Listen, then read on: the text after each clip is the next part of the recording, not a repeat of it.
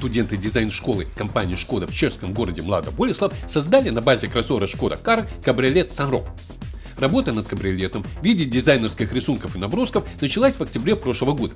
Окончательный вариант дизайна был утвержден в январе этого года, а уже в феврале студенты приступили к материальному воплощению своего проекта.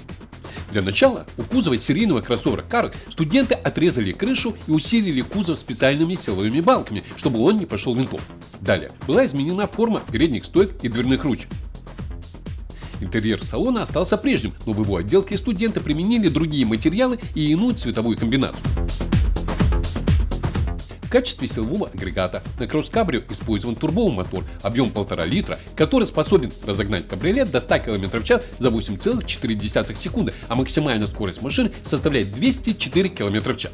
Кроме того, для повышения устойчивости студенты занизили подвеску и установили спортивные амортизаторы от модели Skoda Octavia AS и поставили кабриолет на низкопрофильные шины. Таким образом, открытая версия кроссовера Кары превратилась в обычный асфальтный кабриолет, которому противопоказано ездить даже по обычным сельским дорогам, не говоря уже о легком бездорожье. И какой смысл был из кроссовера делать обычный кабриолет, весьма сложно понять. Но машина получилась симпатичной и кроме того, над ней работали студенты, которые только в начале пути волшебный мир автомобильного дизайна.